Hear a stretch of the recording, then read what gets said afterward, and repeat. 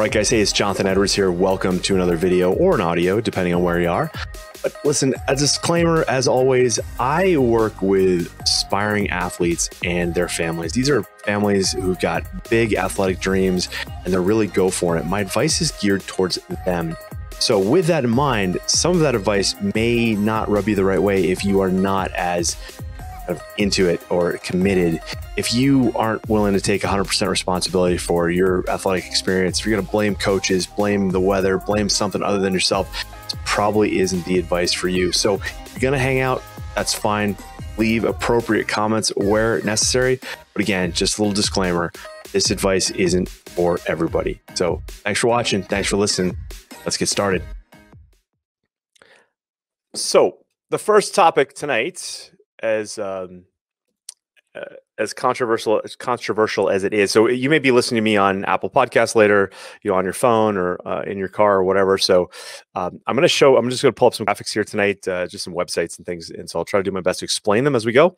Um, so in case you're listening and uh, it can't. Um, can't see me what we're going to be doing is i will be pulling off each question tonight and we'll be posting those throughout the week on youtube and uh, via our newsletter. So if you're not subscribed to our newsletter on athletespecific.com, please do so. Um, just download the, the automatic negative thought guide and you're on our list for free, which is good. And so uh, it's, it's getting busy this summer. I'm working with a, a fair bit of athletes and, um, uh, and uh, you know, this is where a lot of the Tokyo Olympics is coming up too, which is finally, right, finally for some for athletes. But what's big in the news right now is this Naomi Osaka.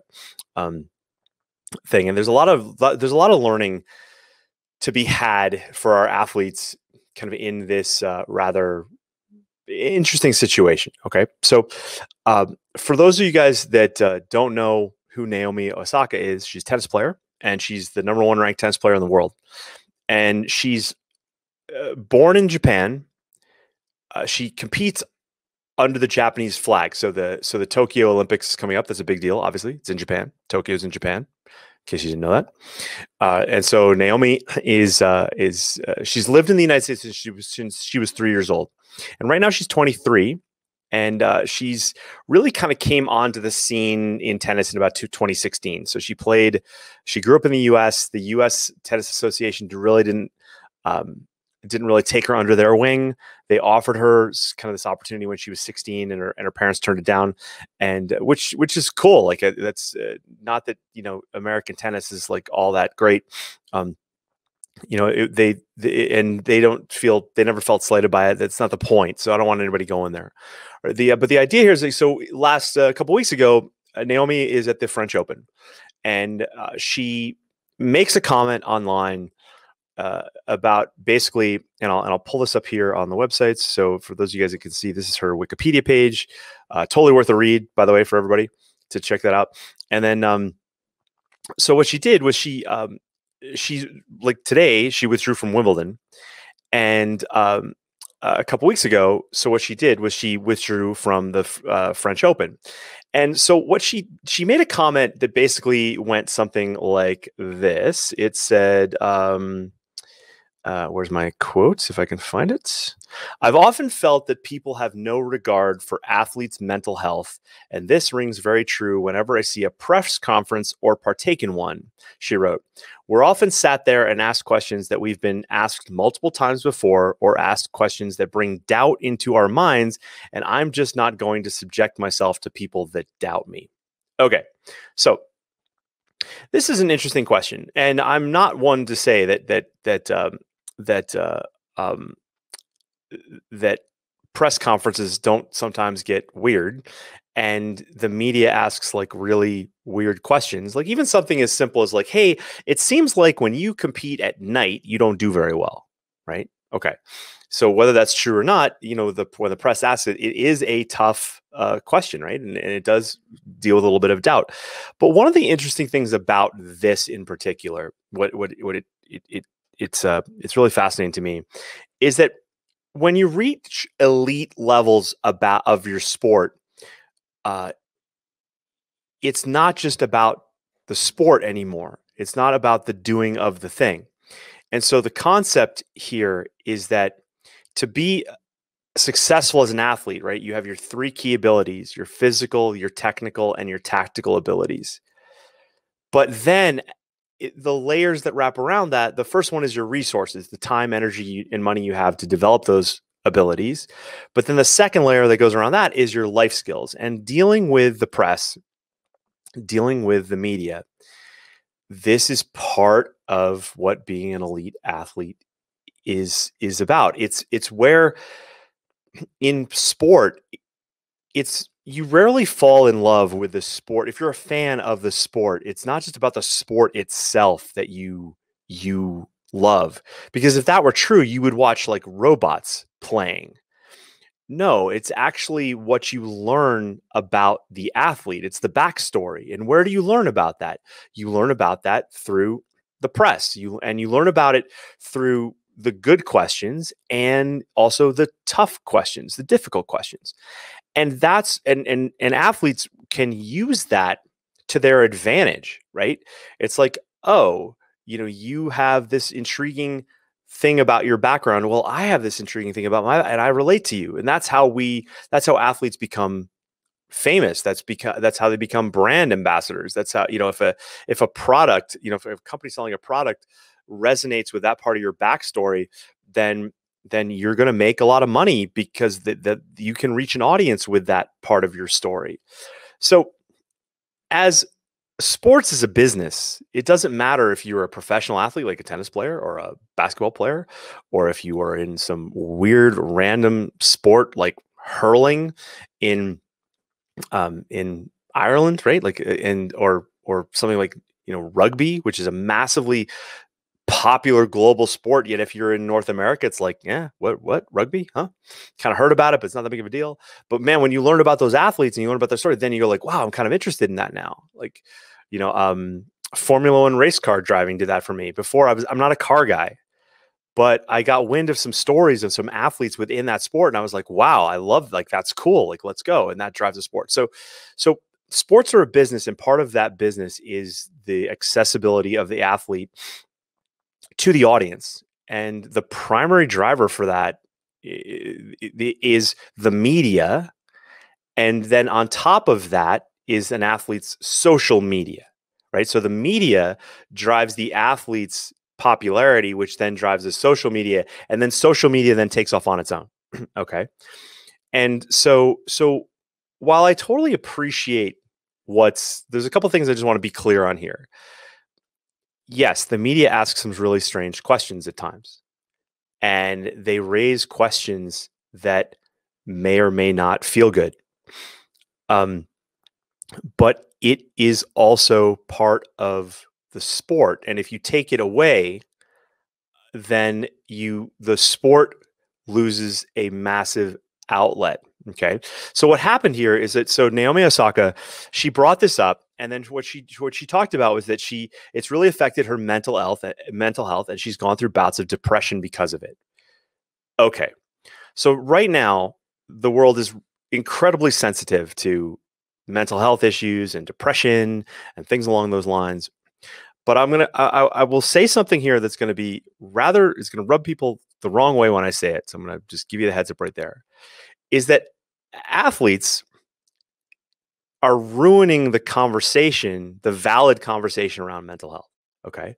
So I will start by saying this sport, sport, the game that you play doesn't care about your mental health. Okay. It doesn't. And and and the reason why I say that is because when there's a score, like right now, I'm, I'm, recording this in Euro 2020 is going on, which is a massive soccer event globally for those of you that say soccer and football event for those of you guys that know better. Um, but the thing is, is that is that nowhere on the score, like so, so just this last week, a a player, uh, a guy by the name of Eriksen, keeled over of a heart attack in the middle of a game. Three minutes to go before halftime, this dude keels over, Danish player, and he has to get resuscitated on the field. Right? They had to defib him once, and they got him back, and that's great. But nowhere on the scoreboard. So the Danes lost that game. Nowhere on the scoreboard did it say uh, I can't remember who they played, but they lost one nothing. It didn't say asterisk oh by the way the guy had a heart attack and the rest of the team was done, was was bummed out and they were they were depressed about their teammate and this it just doesn't it doesn't happen right and now what's interesting about the discussion about that was like the you know the the the powers that be gave the team the option to either play that night later that night or the next day players chose to play that night and sure enough they're a bit um, they're about discombobulated. They lose, and of course, out in the press, it goes like, "Oh, the federations were bad. Like they they rushed them, and that's that's that's bad, and, and they should have been given more time." Whatever. Okay. But the bottom line is that sport doesn't really care about how you win or lose. Like we have in every sport we play, we have rules and regulations on the field of play, but then off the field of play. Okay. So doping is one set of rules. Also, we have professional organizations have media responsibilities, right? So, so what happened here is that so Naomi brings this up, and and when she she brings it up as like she's just speaking her mind, and I totally appreciate that. She's she's you know she's a young athlete, and she's like you know these these press conferences bum me out, and they freak with my head, right? And then and I don't need people eh, you know asking me questions that that now I have to defend the doubt they're throwing in there and this goes to my kind of my like my voodoo um uh, my my voodoo theory, which is like you know you can basically voodoo an athlete if you ask them the right questions, right, or the wrong questions, I guess. But if I come up to you and I say like, "Hey, you feeling okay?" The first time, you know, if we have no relationship, right, and I come up to you out of the blue and I go, "Hey, you feeling okay?" You'll be like, "Yeah, why? Whatever, dude. Get out of my face." Okay. So now I come back a little later and I go, "Wait, wow, are you you feeling okay? You might go like, well, okay, I've seen this guy twice now, and he said that twice. Like, yeah, I feel okay, whatever. But then I leave, and you're like, well, do I look funny? Do I like is my face like whatever? Now, if I come back a third, if I come back again and again and again, I say, you feeling? You sure you're feeling okay? Like, you may start to develop, you know, symptoms of like you don't feel very good, all because I've put that into your head. You know? And that's really what voodoo's all about. Now, if if you let's say we have a big relationship, and I come up to you and I go, are you feeling okay? You might immediately go, oh, you know what? I should, yeah, I haven't actually been feeling all that great. Like I'm a little pale and, and what, whatever. What are you, what are you noticing? Like, like that's the voodooing of an athlete, right? And so, and the the press, the media are some of the worst ones. Um, and so, uh, one of the things that I that this made me think about with this Naomi Osaka thing's been kind of percolating in the back of my head, and I was kind of I was resistant to talk about it, but then I saw a, an Instagram feed with Mikaela Shiffrin, and um, Mikaela Shiffrin uh, did a Instagram live with Patrick Dempsey, and so for all for all the Patrick Dempsey fans out there, like he also he's an actor, but he also races uh, race cars. Like he races in uh, Le Mans races, like big race race car races. He's a big race car dude. He used to have it in his contract as an actor that he could leave to go to a race if he wanted to. And so this Instagram live, and I will put the link in the notes in the uh, in the comments section so you guys can click on this. But so for those of you guys that don't know who mikaela Shiffrin is, she is like the greatest skier of like all time, and she is also in her early twenties. And um, a link's going to the comments right now. Uh, so go check that out later. Don't leave me now.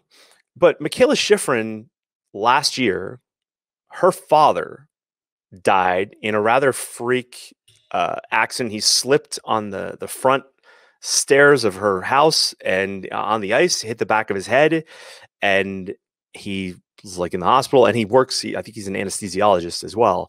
But her family is is ridiculously close and she travels with her mom and and her mom's like part of the coaching staff and and her dad was like you know been there for like everything and so this was a massive shock so she leaves last season doesn't finish the season goes home although it was towards the end of the season uh but this year she comes back and she races and eh, what happens here is so she finished so there's there's five disciplines in ski racing. There's downhill, slalom, giant slalom, super G, and then what's par- uh, parallel, um, parallel slalom now.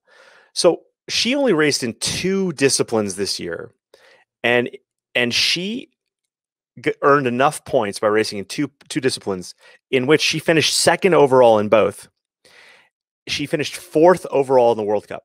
Okay, she did all her media appearances. she found a way to basically manage the the the loss. And and so what being an elite level athlete requires a level of life skills that when you're raised as an athlete and let's say you're fairly introverted and by all accounts of Naomi Osaka she is very introverted. And when she came on the scene and then she won and she won I think she's got four grand slams now I can't remember what she became an icon globally because she's Japanese and she's like she's also got American influence there and she's she's got uh, I think her dad's Haitian and her mom's Japanese like all these just amazing things going on here and the Olympics are coming up. She earned like 50 some odd million dollars last year in endorsements. She's made a lot of money. Okay. So let me ask you this. If you're a very introverted person and all of a sudden you are the face of like women's sports globally. She also won the Laureus Sport Award, which uh, uh, female athlete of the year, which is a massive global sports sports award that a lot of us in North America we don't really we don't really hear a lot about. So she, you think that would cause some stress? You think you know you in in a certain amount of time you you know you now all of a sudden get thrown all this media at you. It would be a drag. I can I can and it would probably make you feel bummed out. And that bummed out feeling can also be then interpreted like, oh, I'm a lot of people you know basically take that bummed out feeling and say, "Oh, I'm depressed." And now globally, the world hears the word depression and goes, "Oh my god." You know. But what I don't like about this, okay? So while that needs to be dealt with, okay? And when you listen to Mikaela Shiffrin in her interview with Patrick Dempsey, she talks about how she literally like she tucked away the pain uh, of of um, she tucked away the pain of dealing with um, the loss of her father. Like she still hasn't dealt with it properly. From I think a lot of people would say that about her, but the idea is that she found a way to compartmentalize that and then fulfill her obligations as an athlete, not just to herself, but also to her sponsors and to her team, and to USA Ski and Snowboard and things like that.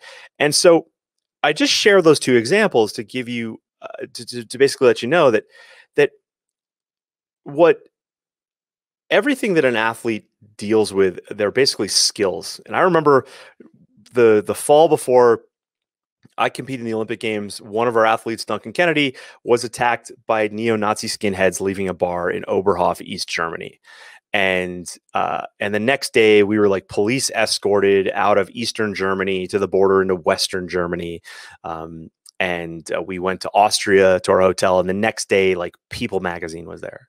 Well, one of the things that we had done, eh, you know, earlier that year by Bob Hughes was we had gone through media training and we learn and, and the company that that US Luge used was the same company that trained NASCAR races NASCAR racers with, with to and this was a time where NASCAR was like this hillbilly sport and the media training came in and, and helped these guys learn how to like talk about their sponsors and weave it in and get on t- and just made it much more valuable and that sport took off into what you see today. These are skills that can be learned okay? And when I first heard this stuff about Naomi Osaka, and and and it's it, it's so. Uh, I feel like it's so human or so American to just blame. Say like I, I, I want this to change. That's great, but what I want my athletes to understand is like you can't complain about the weather. You can only prepare for it, right? And so in the second segment today, I'm going to talk about 100% responsibility um, and and the, the the concepts around that. But but one of the things that happened here is that so on the flip side, you've got Naomi Osaka, but then on the other side, you have Mikaela Shiffrin as a perfect example of like of like someone who's just taken a, a, the the the approach, the responsibility to go. All right, how do I deal with this? And now, the other story I'll share with you is that um, in Formula One racing last year, there's a guy by the name of Alex Albon who who raced for Red Bull. Okay, and I couldn't help but watch the, this Naomi Osaka thing evolve and just go like, her team needs to be better around her. They need to protect her better. And I think if you if you watch on Netflix, uh, the Drive to Survive series on Netflix, which is fantastic, even if you're not a Formula One race fan, you watch Drive to Survive, you will be well, there's a scene in there where they talk about Alex Albon, who is actually from the Philippines, and it turns out his mom spent time in prison for like some sort of fraud. I think some sort of business fraud. Big deal. But there's a scene where Alex Albon is about to sit down to do a uh, a media a one-on-one with a with a, a British newspaper, a British outlet of some sort, media outlet of some sort. But with Alex Albon is the Red Bull press chief or one of their press team. And the press chief is ahead of the game here. And I can guarantee you that Naomi Osaka does not have someone like this that acts in this way. They, she might have somebody who's like her press person or her media person or her PR person, but they're not acting the way this Red Bull press person did for Alex Albon because they sat down and this press guy got in front of it and said, I'm not going to allow you to ask a string of questions based on Alex's mom. Okay. And and so so basically i mean the, the interview gets kind of cut the netflix footage gets kind of cut but i can only imagine that this got got cut short and and a little bit of banter goes back and forth where it says the the press chief says i know you have a job to do or maybe the press guy says i have a job to do there are limits to that. And so for Naomi Osaka, I'm on board with that type of thing. Like if it, you know, if a if a if a press scrum after your match is digging into weird stuff or stuff that you've talked about a thousand times it's like wait a second. Let's put a let's put an end to that. Uh, and i think that's fair. I really think that's fair. Uh, but press people are paid to ask questions and then get different answers from you right? And so that's again that's part of it. But the idea here is that is that what i love uh, that comes out of all this is that for an athlete your athlete may enjoy their sport and like the doing of the thing, right? So I can imagine as a skier, Mikaela, Mikaela Shiffrin loves to ski. As you know, Naomi Osaka loves to play tennis, and both of them are quite reserved like uh, Mikaela's a little bit more vocal, a little bit more extra, has a little bit more extroverted qualities. Naomi, though, from all, everything that I've read about her, she's very introverted, and so you can imagine how, like, if you're very introverted, being extroverted is an uncomfortable feeling. Whereas if you have the ability to learn how to be that way, and Mikaela Shiffrin has talked about that, where she in the past used to be really shy and she has had to come out. And if you've watched her career, you can see this. It's a skill to learn it's not something to be avoided. And so while Mikaela Shiffrin has kind of embraced that, Naomi Osaka has has backed out of it. And then what's come of of course what's as the media has jumped on this, it, or the world has jumped on this, it plays the media in a very bad light. And I don't think that's fair. Okay? I don't think that's fair. Because if you think about this, you can only ask for the environment to change so much and then it will only change so what's happened is that she dropped out of the french open okay? All of the open organizers the us open the french open um, the australian open um, what's the one i'm forgetting? New york open australian well wimbledon she just dropped out of wimbledon too but she also has the olympics coming up she's, she's prepping for that okay? But people the, those four um, those four organizations came out and said listen we're going to fine our athletes if they don't do press conferences. We are going to they, they will default if necessary. That's their rules. And those rules i think are their i mean it's their business. And naomi osaka has now this is this is what a lot of people lean towards. She's made a lot of money. And like you know if she's more made made more money than you, that's okay. But there's you can never judge an athlete by the money that they make or don't make. By the way, that's just weird.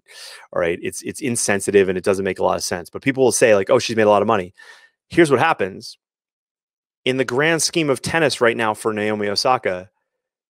Dealing with all this crap is not worth it.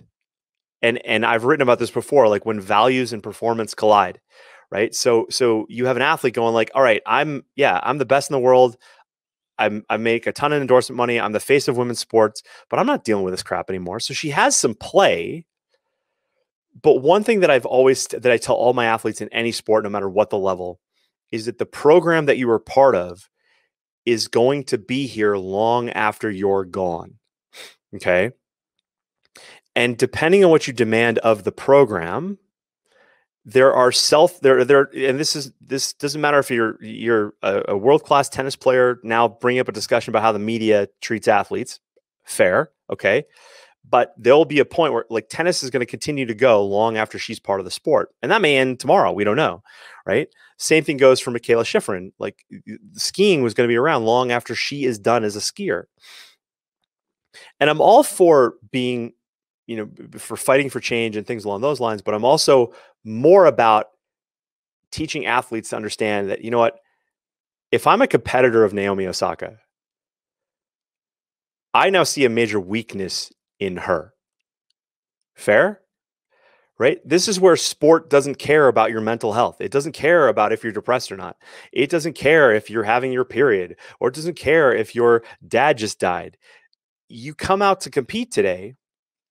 And as harsh as that may sound, you come out to compete today and you may have a bad day because of what is going on in your life, but this athlete may have a better day because they can handle the same thing better than you can. And that's really important to understand. And this is where I say rather harshly sport will never care about mental health. Why? Because there is an athlete willing to push it further and to go into more difficult situations and to learn those skills with which to manage it.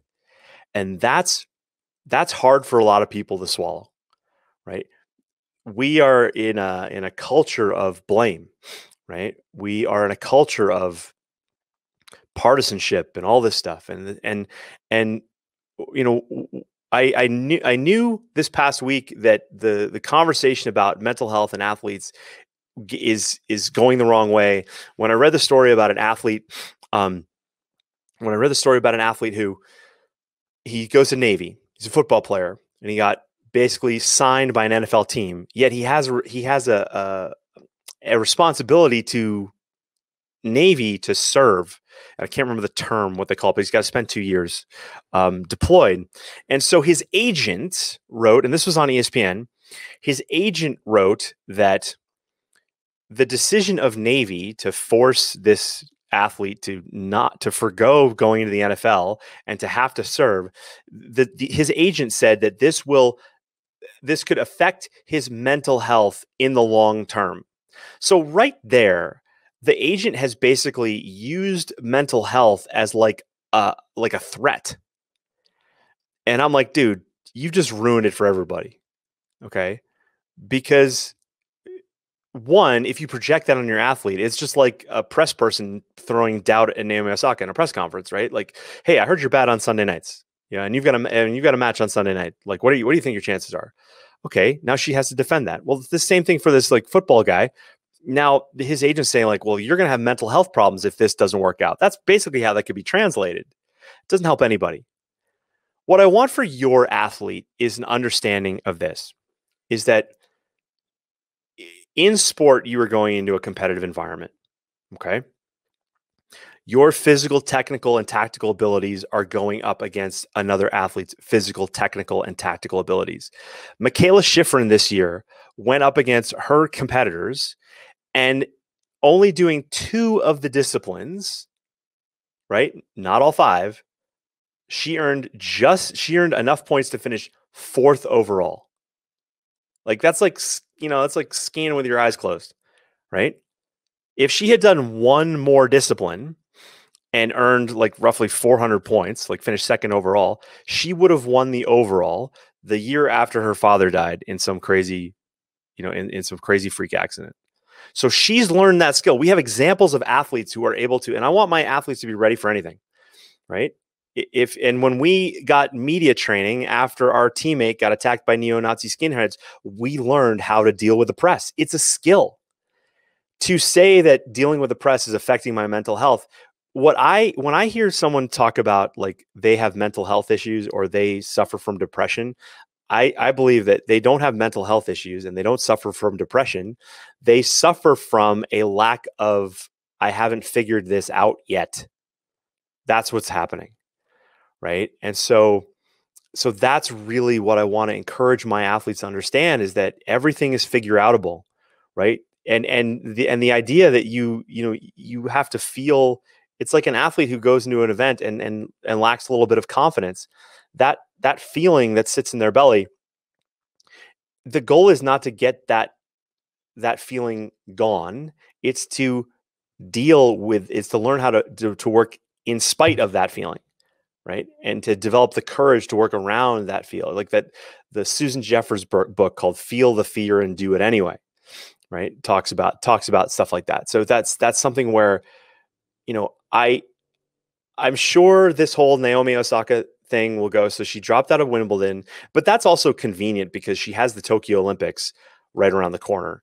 And she as an athlete she stands to uh, reap more from that if you look at that of winning the olympics in her home country uh, than by winning an, you know another wimbledon and that's an interesting thing like that's what we're seeing with athletes now is that these events used to be the pinnacle of their career but now with social media and now with the ability to to develop like you know naomi osaka is a tremendous activist like she uses the media to talk about black lives matter and other issues that are important to her and that's fantastic media is a tool so on one side media is a tool for her but in this particular case she's saying that it's it's it's not good for her mental health and it's giving her bouts of depression.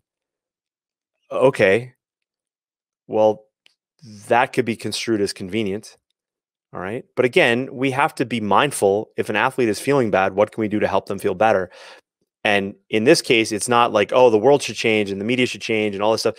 Eh, athletes use the media and so if I have an athlete coming up in a sport of tennis, I go, man, if you can learn these skills and you get up against Naomi Osaka, there's going to be people that pay off the media to ask her tough questions. It's just going to happen. Why? Because they're competitors and competitors find ways to win sometimes outside of the outside of the lines in the gray areas. Right? And people get shocked when I even say something like that. Right? So you can either curse at the rain or bring an umbrella. What do you want to do? right? I would rather my athletes get get get their head straight and and bring an umbrella, right? And know what's going on. So these are skills to learn and they're not easy. And especially if your personality is such where you're not necessarily inclined to be disagreeable or things along those lines, um, you know, I want I want just people to understand that your athlete can learn anything that they want to. All right, so let's keep that in mind. I know this is a tough one, and I and people have called me like insensitive to Naomi Osaka. I'm not. I'm actually pro athlete because what I'm realizing is her team is lacking some serious ability to protect her as an athlete, to manage some of these things. They could have gotten ahead of this, but they didn't. But we're going to learn that the hard way.